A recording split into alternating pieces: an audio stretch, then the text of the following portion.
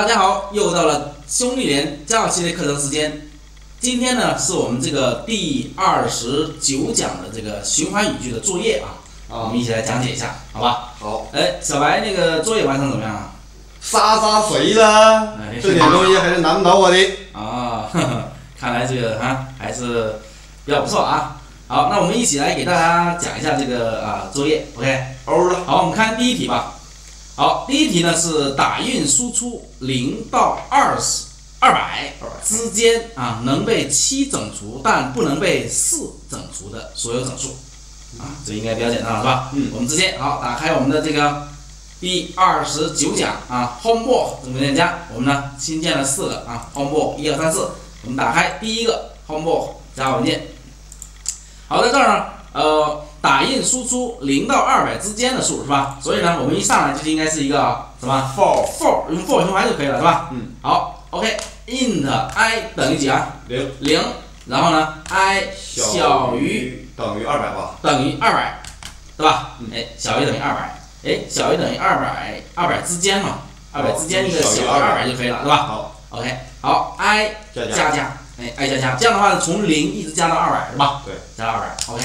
好，这是循环呃循环的这个条件，我们就定义好了是吧？嗯，然后呢，我们需要在这里呃呃判断我们的条件是吧？对，条件是被七整除，但不能被四整除。对，是不是？对，OK，那我们这儿零到一之间能被七整除，那我这里应该怎么来判断？如果 i i 模拟怎么样？七。模以七。七。等于零。等于什么？零，零，这就是能被七整哎，除，能被七整除是吧？然后呢，并且并且是吧？对，并且多少？不能被四整除，不能被四整除，那就是 i 模以四四，应该是什么？不等于不等于零，对是吧？哎，不等于零，这两个条件是吧？嗯，就是用到了这个并且这样的关系，那肯定是先计算，呃，左边的表达式，再计算右边的，右边表达式，是吧？嗯哎，如果这个表达式之间计算如果是 false，这个表达式要计算吗？就不计算，就不计算了，是吧？就直接就啊就成立，是吧？嗯。哎，这是我们这个语短路语，是吧？对哎前面我们已经讲过了。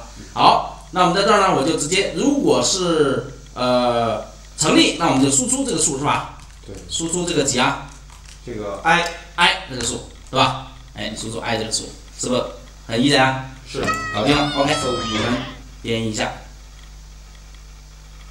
嗯，OK，好，编译成功是吧？我们开始运行一下。哎，我们运行的结果是从七开始是吧？然后呢，最大数应该是一百八十九，是吧？哎，能被七啊整除，但不能被四整除的这个数，我们就输出出来了，对吧？对应该是啊比较简单的一个第一个作业，好吧？是挺简单。好，OK，我们那个呃第一个作业呢，就给大家先讲到这儿，谢谢。威哥在手，天下我有，下期再见。